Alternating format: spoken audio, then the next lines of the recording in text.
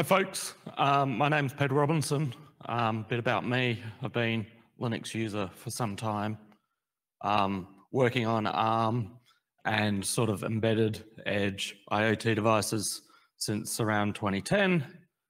Um, been employed by Red Hat doing various different roles since 2012. Um, and for the last six years, I've been um, the lead of Device Edge and IoT. Um, so why am I talking about wireless? Um, I'm co-maintainer of Linux firmware in Fedora, um, one of the ARM64 leads in Fedora. Um, I've worked on numerous um, edge and IoT devices, like literally hundreds of them, um, with upstream Linux generic distros, um, worked with Linaro, ARM, and the wider ecosystem on like device standardization, system ready, all sorts of other specs. Um, this talk, it's not a rant. I want to have a discussion. Um, the wireless experience, and in this case, I'm mostly talking about um, Wi-Fi and Bluetooth. Um, it's generally just not pleasant. Um, the amount of regressions we get, the amount of devices that just don't work out of the box um, is just astounding. Um, so the main ones I deal with, um, the Intel Wi-Fi, the Broadcom stack, which is now a group of three different companies, uh, the Mar Marvell ones, Realtek, Qualcomm, MediaTek. Um, so why, why are they bad? Um, the Intel stuff used to be the best Wi-Fi for Linux. It might still be, but we end up in situations where um, they'll ship a Bluetooth firmware update, and suddenly, like hundreds of people in Fedora um, can't connect to Wi-Fi anymore. Who is they? Sorry. Who is they? Is it a is it a hardware vendor update or a kernel firmware update?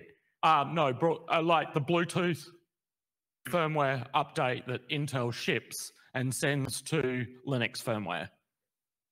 Um, and so you'll reach out to maintainer, oh, but it's fixed in next.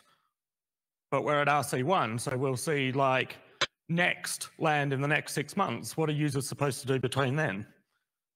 And they're like, oh, well, just don't update Linux firmware so regularly. but the GPU drivers need new firmware for the latest GPU hardware. Am I supposed to split out hundreds of things and ship everything separately?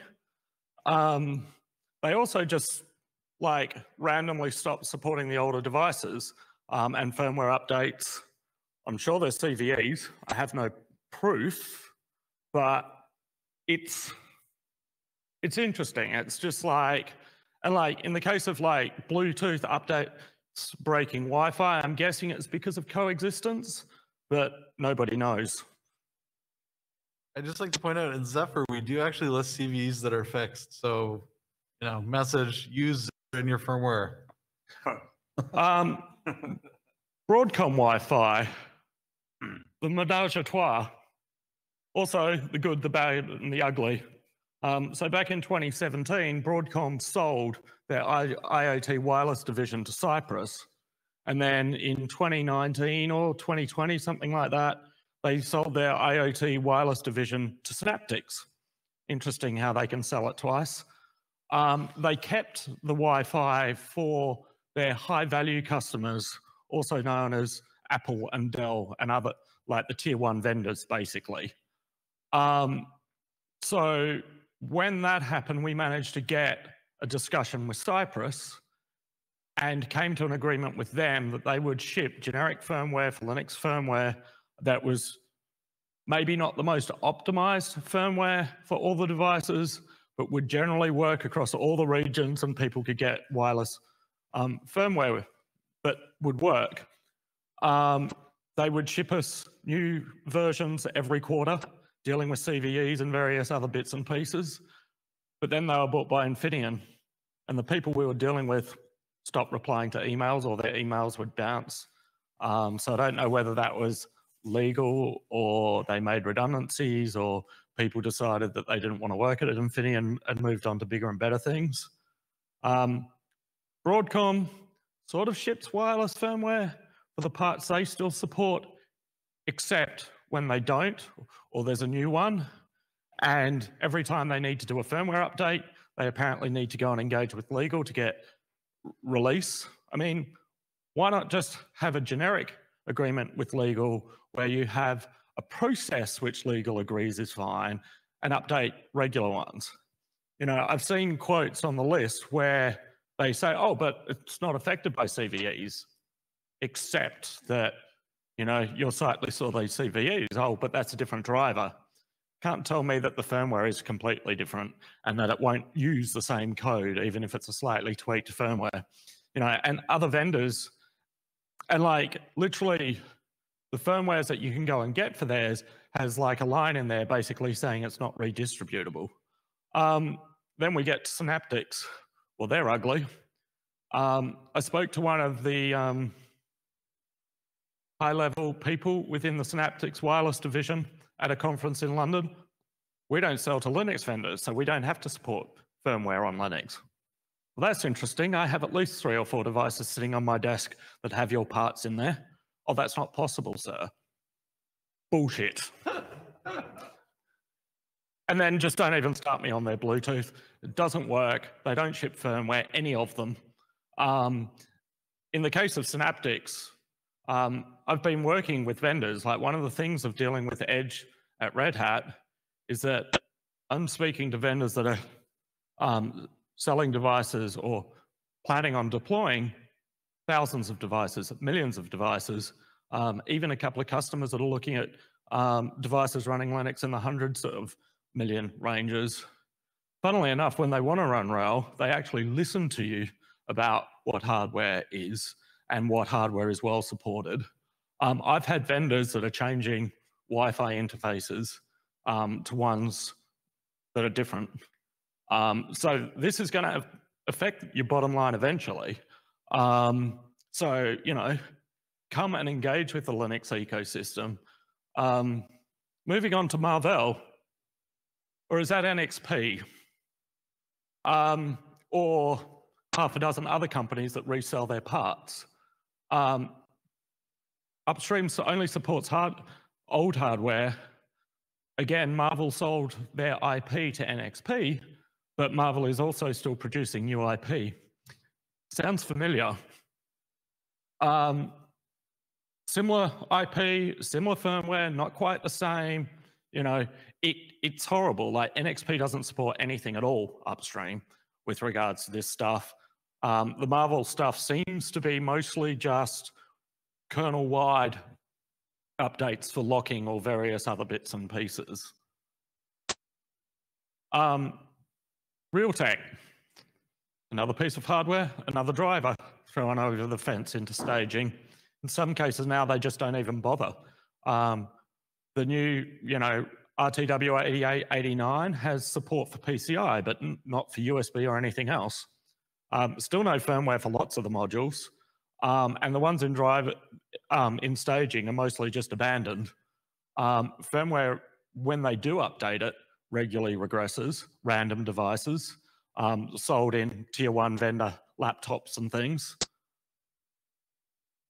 All the rest are no better. Firmware regularly regressing on stable releases, firmware regularly just crashing because you know someone's deemed to use something like WPA3, 5 gigahertz, or, you know, maybe if you've just looked at it the wrong way. How do we fix that? I don't know. How do we fix vendors? How do we encourage them to care generally about Linux users? Um, how do we remove the terrible Stockholm syndrome with Linux wireless? I have one suggestion. I mean, like these these vendors, they have hardware. They can donate hardware. Uh, they can donate money to set up like an actual uh, continuous uh, test uh, service and system. And if something's broken, like if you get a regression, shoot the person an email, make someone accountable for that, right? Yeah. So like I like as soon as I get a report, I email the maintainer. Sometimes you'll get a reply three months later. Am I supposed to stalk them? Like there's literally Well, it's got to be bad advertisement. It's got to be on the web. People have to see like these are the vendors who are causing regressions and like have like a score, have like a top 10. I mean, I, I, I've considered for some of the vendors actually just like submitting patches to the wireless mailing list to move the vent, like the whole vendor driver to staging to like start a discussion about it. And like it, it won't achieve anything, but at least like people will start to be aware. Uh, So uh, I actually play with all the wireless stuff pretty extensively. I like know which one is better. But um, for tech, have you actually had like a lot of issues with their recent stuff, or Yeah, Like- it, like not the 7663s, but like the 7610s, the 7612s, the 70? for the 921. MediaTek stuff. Yeah. Yeah, off the top of my head, I don't know. Oh, like- okay. I would have to go back through bug reports and Okay. things like that. Yeah. But they're generally the USB ones, at least, are generally pretty reliable. Uh, It varies. it varies. Yeah. Well, and, and like part of the problem here as well is like, you know, the quality of access points are variable. Yeah. And so like, I mean, I've seen myself where I, I used to have a widely available access point from a vendor at home, and then I switched to a different vendor to, because it stopped getting security updates. And suddenly like four or five devices that I'd never managed to get working suddenly started connecting to the access point. So it it's it like wireless is hard because you've got a lot of variables but like in the case of some of them like you try and connect to an access point and the firmware crashes like it shouldn't be like the experience shouldn't be that bad Hey, I wanted to ask, uh, what is your experience with the Intel maintainer? Do, do they actually respond to patches? Because I never got them to. um so the intel ones are sometimes like three or four months to get a response um and like the intel driver like about 517 regressed on a certain situation. And like we worked out that there was this new firmware blob that was shipped. And it turns out that this new firmware blob was designed to work with the intel management engine so that it could use the wi-fi interface to send traffic. And then so there was bugs filed and various other bits and pieces and like eventually literally only the other day an update was said oh you shouldn't be enabling that. Oh that's interesting. And then so i started to dig through this. It had been tested on one wireless interface card um, basically didn't work. And there's now been a patch submitted to that to basically mark that whole thing as broken. But you know in say Fedora, for example, we get a request from a user or someone to enable something so that they can use that functionality, but it regresses for everyone else.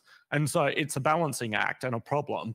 And it takes significant amounts of people's time. Um, but even when it does, like, you know, and I was um, chatting to someone earlier today where they were just like, I'm so sick of the Bluetooth stack. It's horrific. It regresses all the time. And I went, yeah, no kidding. Like, you know, it's constant. Like, and like I also co-maintain the blue subsystem. Um, I don't know what I did wrong in a past life. To like, I, I, I think I just like pain or something. But like, you know, the amount of times it all just regresses, regresses, regresses. Like it is just a terrible experience. Could- Do you have any automated tests to track how those things break?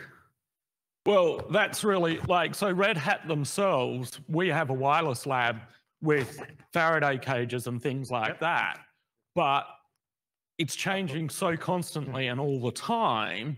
Like, basically, have to get in a queue to get access to all the hardware to be able to run the tests. Yeah, I- and I- like this isn't my day job like this is something that i've ended up doing because i need this stuff for iot and edge but so it's like i don't have like i could literally deal with this stuff and deal with regressions full time and so that's, that's why not my that's job. why I'm asking because I'm from Red Hat to CKI project.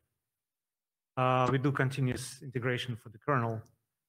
If your hardware is available in Beaker, you can talk to us. We can help you set up. I'll speak to you afterwards. Yeah. So um, I feel your pain. Uh, I was the one who sent that patch for the, marking the IWL thing as broken. Um, and this has been an issue for so long. I think I will encourage public shaming, as as you were saying. I'm not sure it's going to help. Yeah. Um, I have like Intel is not the worst, but we do No, get they're not the of worst, issues. But not- Um, it's not a pleasant experience. Qualcomm Atheros don't really care. The firmware is a mess. Like I know people who have access to the source code and refuse to touch it with a like poking stick. Um, Media, uh, MediaTek is probably the most responsible vendor so far. Like they at least write a good driver.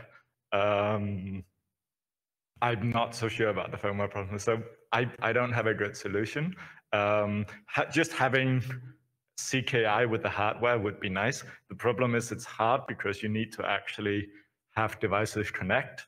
And Yeah. there's this thing where um, diff- like different clients will trigger different bugs in different firmwares. Yep. So you really need to spin up everything and do. Well, and you also need to like change the access point as well to support just WPA2, enterprise, Yeah. WPA3, all sorts of other things. Like, Yeah. you know, to be able to cycle it, you almost need like to be able to cycle both sides, like the access point side as well as the client side. And then you also need to throw in Bluetooth into that as well. Um, Yeah. and various other bits and pieces. It's a very complex problem to solve. and, and, And like I've been working behind the scenes with vendors as well to try and improve the situation. And like some vendors respond, some vendors respond and go, "Well, give us a list of the clients that we that are buying the hardware." And it's just like, "Well, I don't have an NDA with you. I can't tell you our clients, um, but I can tell you they're taking pieces of hardware out and putting different pieces of hardware in." Um, like, so it, it's Can for for the firmware thing, like in the kernel, if if a driver breaks, we revert the patch, right? Like, can we refuse to skip firmware updates and like revert them? In the in the case you said it's fixed the next, okay, until the next thing lands, we're just gonna revert your latest firmware update because it broke something. Is that will will that help apply pressure to vendors? Um, possibly, and it's certainly something that I have considered. Yeah, like if if we have a CI system that can catch it really early, we can sort of Yeah.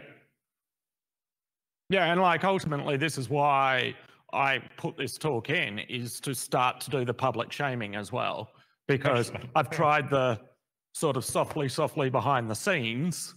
Um, and, you know, it gets to a point where you just have to call them out on their bullshit. So my, one suggestion I have on the, that we know we need carrots and sticks here, um, is I would really encourage you to do this talk with a little bit more, uh, graphic shaming, um, at, um, in a slightly less technical way at, you know, there's dozens of these, uh, IoT or industrial, industry of things, or et cetera, conferences. And I think, um, you know, that list, you know, people, CEOs in the room will be like, oh, shit, I'm going to deploy a million devices on, you know, my Raspberry Pi variant. And uh, I just bought chips from a bad vendor, right? So as you said, you have an NDA that prevents you from talking.